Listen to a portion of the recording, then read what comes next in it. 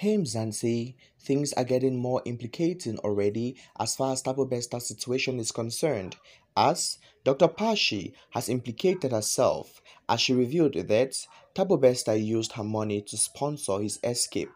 Guys, Dr. Pashy says Thabo Bester scammed her and used her millions to sponsor his activities in shock. Do well to watch this video right up to the end so that you are going to understand all what is ongoing already and what Dr. Pashy revealed about Thabo. Before I give you all the entire information, kindly subscribe to this channel, like this video, drop a comment and hit onto my post notification bell. Celebrity doctor Dr. Mireille Chani, also known as Dr. Pashy, has come forward with a shocking tale of deception and betrayal.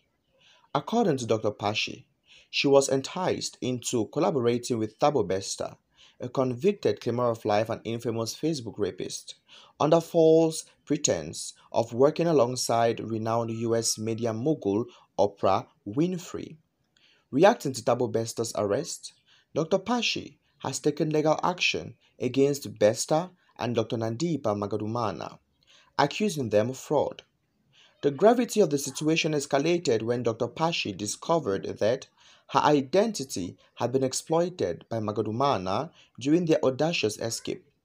Surprisingly, two passports belonging to Dr. Pashy were recovered from Magudumana at the time of her arrest in Tanzania. During an exclusive interview with SABC News, Dr. Pashy recounted how Magudumana introduced Bester to her, presenting him as TK Nkwana.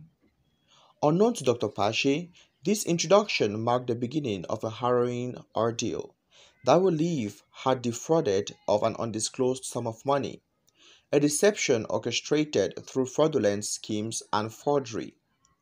Although Dr. Pashy cannot disclose the exact amount involved due to the ongoing investigation, she has confirmed that it amounts to millions.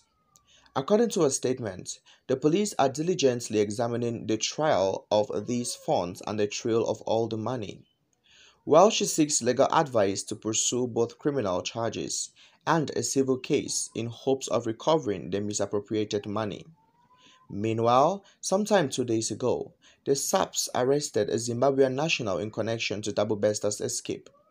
Sometime last week, an officer in charge of investigating Thabo Bester's escape decided to actually end it all. Of course, it is alleged that he deleted himself after allegedly being threatened so many things are ongoing already as far as Thabo Bester situation is concerned, and even more people keep getting implicated on a daily basis. What did Thabo Bester really have that so many people just believed in him and they couldn't see the lies in his eyes? Thabo Bester just played his cards so well and he was so good in the game, but like they say, 99 days for the thief and one day for the owner.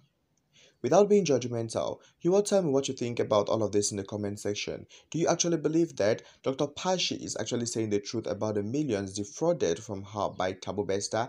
And do you what do you suggest can be the solution as far as this particular case is concerned? Guys, I'm going to be reading you all and replying to all of your comments. I love you all. Jam vibes.